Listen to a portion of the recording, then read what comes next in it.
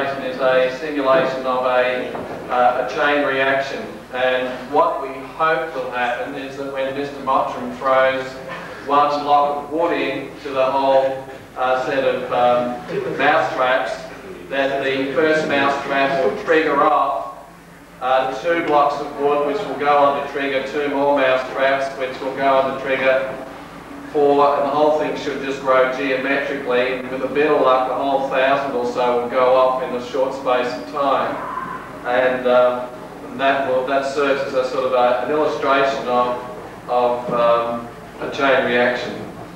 The blocks of wood simulate neutrons.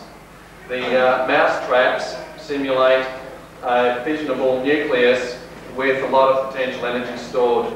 So all we have to do is to trigger that potential energy so that it gets released and then off we go. So I'll just get myself in a position and then we'll see what happens.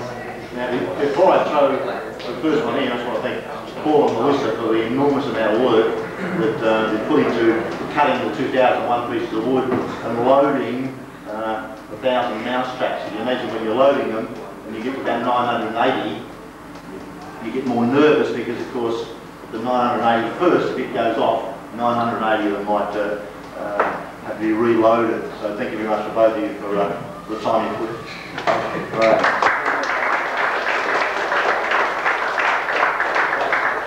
I'll you one, two, three. Okay, so one, two, three.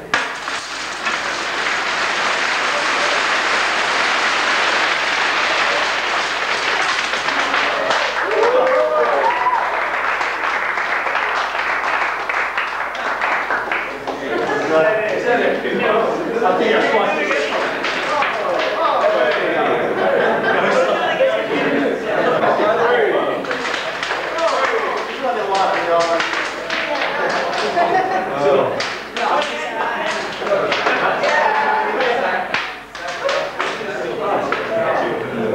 Gentlemen, you've just